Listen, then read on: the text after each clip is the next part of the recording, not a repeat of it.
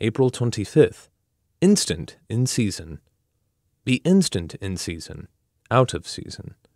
2 Timothy 4 2. Many of us suffer from the morbid tendency to be instant out of season. The season does not refer to time, but to us. Be instant in season, out of season, whether we feel like it or not.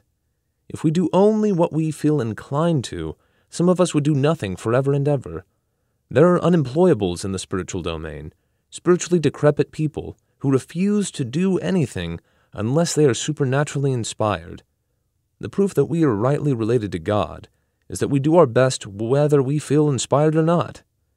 One of the great snares of the Christian worker is to make a fetish of his rare moments. When the Spirit of God gives you a time of inspiration and insight, you say, Now I will always be like this for God. No, you will not. God will take care, you are not. Those times are the gift of God entirely. You can give them to yourself when you choose. If you say you will only be at your best, you will become an intolerable drag on God. You will never do anything unless God keeps you consciously inspired. If you make a God of those best moments, you will find that God will fade out of your life and never come back until you do the duty that lies nearest, and have learned not to make a fetish of your rare moments.